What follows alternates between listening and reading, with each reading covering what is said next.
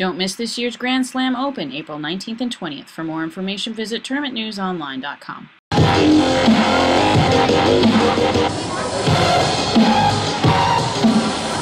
Cześć, Manajka, jak na, wyszybciej!